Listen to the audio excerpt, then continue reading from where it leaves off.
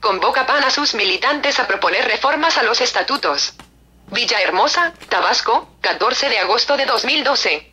Las bases podrán ser consultadas en los comités municipales o entregar sus propuestas directamente en el Comité Directivo Estatal. Como parte de los acuerdos alcanzados en la pasada Asamblea Nacional, el Comité Directivo Estatal Panista en Tabasco convoca a sus militantes a proponer reformas a los estatutos partidistas, con el propósito de fortalecer los ejes rectores de este instituto político.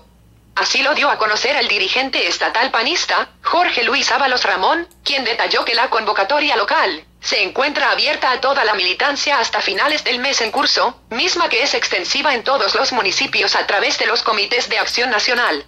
Invitó a los panistas, para que se acerquen al comité directivo estatal, en donde podrán aclarar sus dudas o entregar sus propuestas, mismas que serán revisadas por la Comisión de Evaluación y Mejora, conformada por importantes liderazgos nacionales.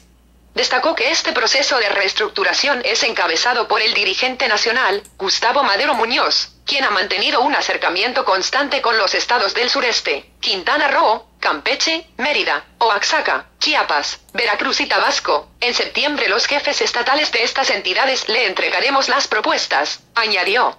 Para finalizar, comentó que estos trabajos para la reforma de los estatutos de acción nacional, se suman a las giras de trabajo que se continúa realizando en los municipios, este martes se visitará Macuspana y el resto de la semana están programadas salidas a Comalcalco, Paraíso, Cunduacán, Nacajuca y Centla.